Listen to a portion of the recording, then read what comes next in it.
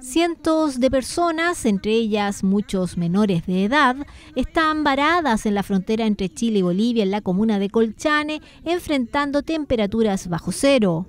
Los migrantes son de diversas nacionalidades, venezolana, colombiana y en su mayoría boliviana, intentan ingresar a Bolivia, pero se les impide la salida del territorio nacional, ya que habrían ingresado al país de manera irregular.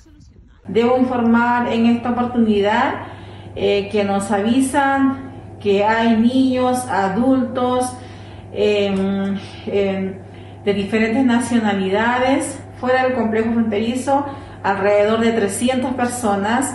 Eh, las temperaturas aquí están bastante bajas. Tuvimos que ir con el equipo de salud a darles atención. Trasladamos a la urgencia a niños, mujer embarazada y otras personas con mal de altura. Una situación que podría tardar en resolverse, según relata una de las ciudadanas bolivianas, que fue atendida por personal de salud de Colchane. Soy boliviana y Estamos parados en la frontera de Chile desde las 5 de la tarde. No nos dejan pasar por el problema que hemos pasado ilegal y no nos dejan pasar a nuestro país. ¿Qué les han dicho ahora? ¿Nos van a dejar pasar? Que tenemos que hacernos la autodenuncia y depende de eso, eso tarda entre una semana o 15 días. Después de algunas conversaciones se logró que estas personas puedan permanecer en el albergue habilitado como de primera estadía tras el ingreso masivo de inmigrantes de los últimos años por ese sector. La gente no puede estar a la intemperie, las temperaturas están bien bajas, eh, pueden traer complicaciones a su salud.